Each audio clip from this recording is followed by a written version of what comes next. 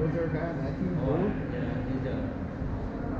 Jesus, I, I was gonna uh, block it, and then he took it. That hurt either way.